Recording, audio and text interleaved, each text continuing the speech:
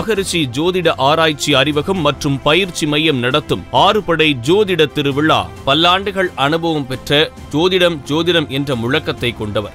எப்பொழுதுமே அனைவரிடமும் அன்பாகவும் பாசமாகவும் பழகக்கூடிய இனிய நண்பர். ஒவ்வொரு நிகழ்விலும் ஒவ்வொரு அமைப்பிலும் ஜோதிட நட்சத்திரங்கள் இருக்கிறது என்பதனை உறுதியிட்டு அந்தந்த இடத்தில் அதற்குரிய பரிகாரத்தை மிக எளிமையான முறையில் விளக்கத்தை கொடுத்தவர்.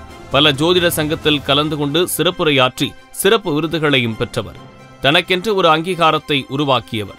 தமிழகத்திலேயே நட்சத்திரம் என்றால் அது பாலமுருகன் என்று பெயர் சொல்லும் அளவிற்கு நட்சத்திர நாயகனாக திகழ்ந்து கொண்டிருக்கும் உயர் திரு பாலமுருகன் ஐயா அவர்களுக்கு ஜோதிட நட்சத்திர வளர்ச்சி நாயகன் என்ற விருதை கொடுப்பதில் மகரிஷி ஜோதிட ஆராய்ச்சி அறிவகம் பெருமை கொள்கிறது.